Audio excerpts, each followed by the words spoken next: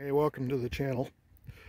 I've had a request from one of my subscribers who saw my video on the uh, 2000 watts of solar that I have on top of uh, our motorhome here.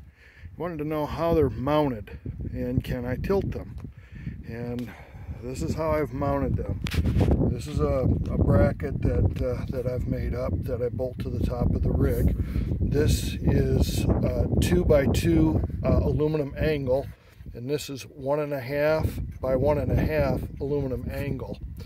And then what I've done is I've run a piece of aluminum angle from one end of the panel all the way to the other end of the panel. And allows the um, um, uh, how I've able to tilt them is I use stainless steel. Uh, you're not gonna be able to see it.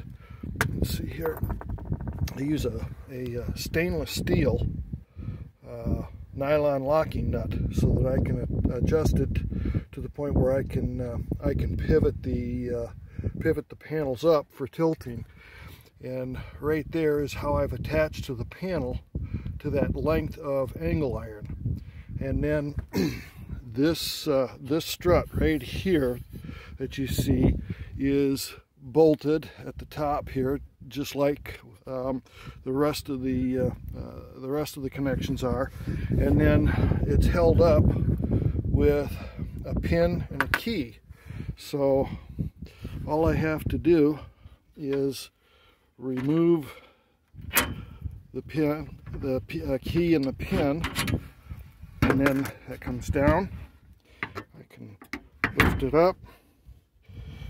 Apologies here it's hard to hard to see that lift it up and then bolt it. And that's how uh, how I tilt my panels. Now the uh, again the system that I have here is uh, just over 2,000 watts. Uh, the panels are uh, 345 watt panels. And they're all uh, all hooked up in parallel. It runs across the roof over to the refrigerator vent, then goes down into the coach.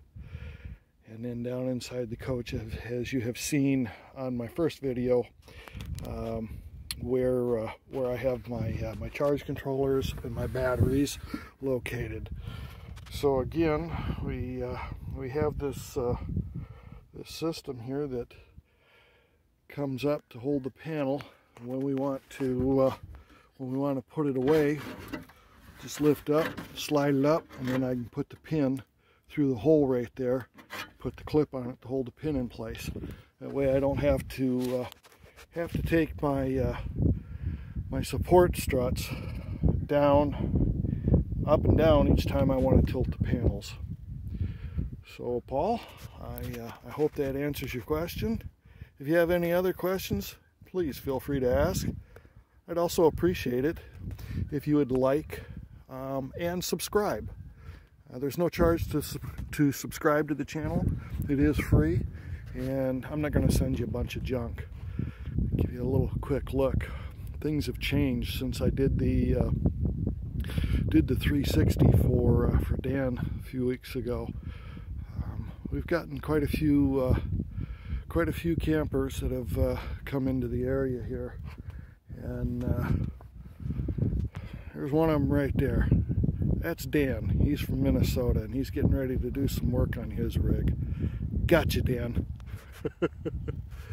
so, again, thank you for stopping by the channel. And if you would, uh, please subscribe. Uh, we'd greatly appreciate it. Thanks again and have a great day.